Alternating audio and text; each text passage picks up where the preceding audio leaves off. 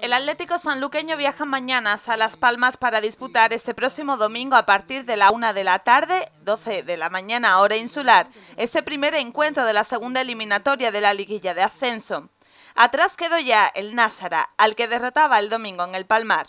Estamos también en una situación de que ya no es nada fácil, ¿no? Eh, ya el rival que nos vamos a enfrentar eh, ha demostrado ser que es un rival competitivo, ¿no? Lo demostró el otro día el, el aquí en Sanlúcar, que tenía la idea muy clara, un equipo muy compacto, con un, eh, muy contundente y que bueno que arriba tenía gente rápida, gente que te creaba peligro y que cualquier despiste nuestro, cualquier o cualquier momento de relación lo podían aprovechar, ¿no? Y así se demostró. De todas formas yo creo que el equipo en general estuvo, nuestro equipo estuvo muy intenso, muy intenso estuvo fuerte, supo sufrir los momentos de dificultades que sabíamos que íbamos a tener y bueno, y supo superar esos momentos de nervios y de, y de, y de intranquilidad que bueno, que a pesar de la juventud supimos gestionarlo bien y es lo positivo que nos quedamos, un paso más que damos, una situación bueno pues muy competitiva que hace demuestra que el equipo está creciendo en todos los aspectos.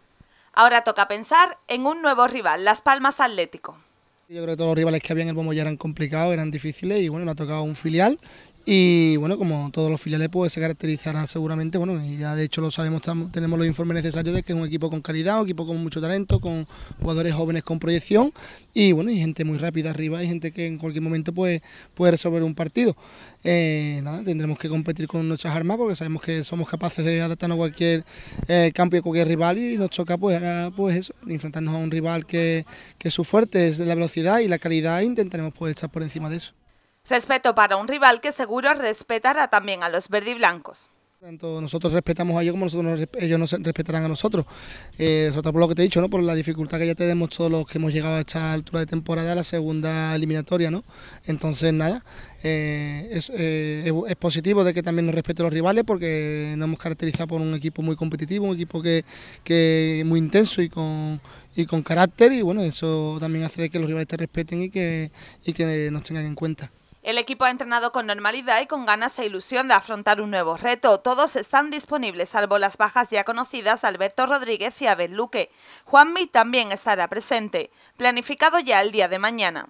Allí entrenaremos, ya tenemos planificado el entrenamiento, entonces llegaremos sobre el mediodía, sobre las dos y, dos y media, para, llegar al hotel a las tres, eh, comeremos a esa hora y descansaremos una hora o una hora y media, tenemos descanso a los chavales y después iremos a, hacer una sesión de entrenamiento, después daremos un poco de tiempo libre para que ellos también eh, desconecten un poco del estrés para después bueno cenar y irnos a, la cama a descansar para el día siguiente pues jugar el partido. Un encuentro que podrán seguir a través de Costa Noroeste Televisión para transmitir también desde Sanlúcar el apoyo y ánimo a los verdiblancos.